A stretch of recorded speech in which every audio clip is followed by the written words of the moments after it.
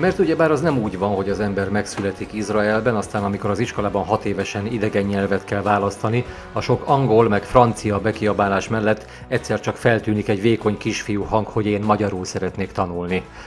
Nem, a megfejtés ennél egyszerűbb, Jane Simmons szülei magyarok voltak mindketten, név szerint Vicc Ferenc és Kovács Flóra. Édesanyja egy Szabolcs megyei faluból, Jándról származott, édesapja is valahonnan arról a környékről.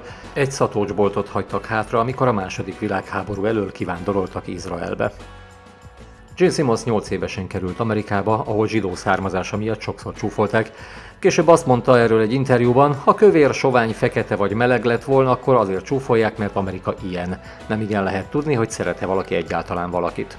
A kis szuperhősökre emlékeztető jelmezeit és mentalitását Simons saját bevallása szerint az amerikai tömegkultúrától kapták, mert abban minden heroikus. A természet feletti hősök olyanok Amerikának, mint az ókori görögöknek az isteneik.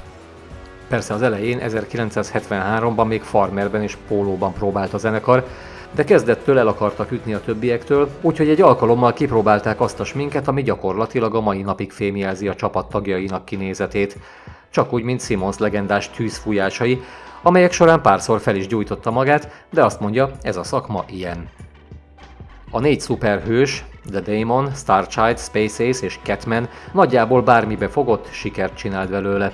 Pedig volt olyan korszakuk, amikor a sminket is elhagyták, ám a rajongóknak az is bejött, ahogy a 90-es évek közepének nosztalgia turnéi is.